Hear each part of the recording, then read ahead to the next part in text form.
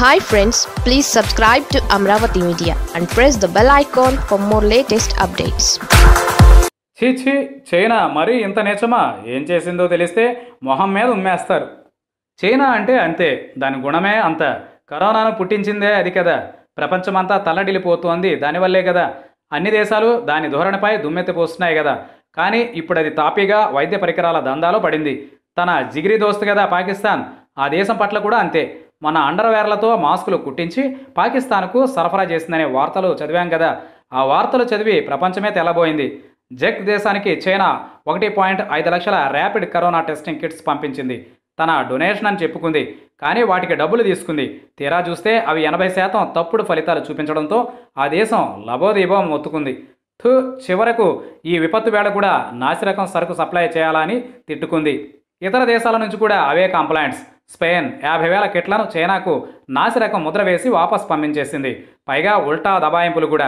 Netherlands కూడా ఈ తరహా కంప్లైంట్ చేస్తే చైనా తప్పు అంగీకరించాల్సింది పోయి ఒకసారి ఆ మాస్కులపై రాసి ఉన్న ఇన్స్ట్రక్షన్స్ డబుల్ చెక్ చేసుకోండి అని సమాధానం ఇచ్చింది.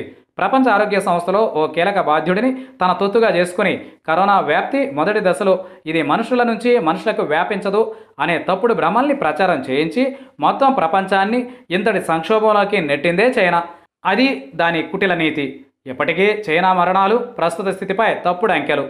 జర్మనీ తన పోలీసుల కోసం రెండు లక్షల ఎన్ నైంటీ ఫైవ్ మాస్కులు కావాలని చైనాకు ఆర్డర్ ఇచ్చింది. కార్గోలో బయలుదేరుతూ ఉంటే అమెరికా అకస్మాత్తుగా వచ్చింది. ఒత్తిడి తెచ్చింది. రేట్ ఎక్కువ ఇస్తానన్నది. దాంతో చైనా వాటిని అమెరికాకు పంపించేసుకుంది. అదేం వ్యాపార నీతి అని అడగండి అదంతే. ఇటలీ అనుభవం పాపం మరీ దయనీయం. కరోనా ధాటికి బాగా దెబ్బతింది అదే. ఓ శవాల దెబ్బగా మారింది. చైనాలో కరోనా విజృంభిస్తున్న దశలో ఇదే ఇటలీ చైనాకు పర్సనల్ ప్రొటెక్షన్ ఎక్విప్మెంట్ సరఫరా చేసింది. ఉచితంగా ఉదారంగా. అంతేకాదు చైనీలపై కరోనా స్ప్రెడర్స్ అని వివక్ష చూపించవద్దంటూ మానవతా దృక్పథాన్ని కనబరిచి హక్ చైనీస్ నినాదంతో వుహాన్ నుంచి తోలు పరిశ్రమల్లోకి పనిచేయడానికి వచ్చే చైనీలను ఆత్మీయంగా ఆదరంగా హత్తుకునే కార్యక్రమం చేపట్టింది. అదిగో ఆ దెబ్బకే ఇటలీ రోగగ్రస్తమైంది. వేల మరణాలతో కుదేలైపోయింది. అలాంటి ఇటలీ పట్ల చైనా ప్రస్తుత ధోరణి ఏంటో తెలుసా? మా దేశం ఇటలీకి పీపీఏ సప్లై ఉచితంగా చేస్తున్నట్లు కలర్ ఇచ్చుకుంది. తీరా చూస్తే అది విరాళం కాదట. పక్కాగా వాటికి డబ్బులు వసూలు చేసుకున్నదని స్పెక్టేటర్ మ్యాగజైన్ కథనం. ఏ పీపీఈ ఇటలీ చైనాకు అత్యంత ఉదారంగా సప్లై చేసిందో అదే ఇటలీకి వాటి అవసరం పడ్డప్పుడు మాత్రం వ్యాపార కోణంలో చైనా సప్లై చేస్తోంది. మరో ఉదాహరణ ఖచ్చితంగా తెలుసుకోవాలి.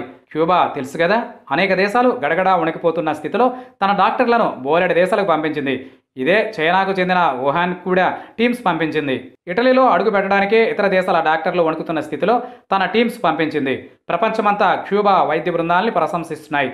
పోనీ ఆ క్యూబా పట్ల ఈ చైనా సరిగ్గా వ్యవహరించిందా? లేదు. ప్రపంచంలోకెల్లా ధనికుడు చైనీయుడు ఆలీబాబా ఓనర్ జాక్ మా ప్రపంచ దేశాలకు ఐదు లక్షల కిట్లను పది లక్షల మాస్కులను ఉచితంగా ఇవ్వడానికి నిర్ణయించాడు.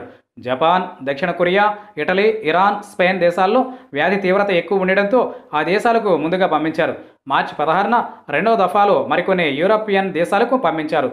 మార్చి ఇరవై ఒకటిన Bangladesh Afghanistan Cambodia Nepal Pakistan Sri Lanka India Russia సహా పలు దేశాలకు సరుకు పంపించారు.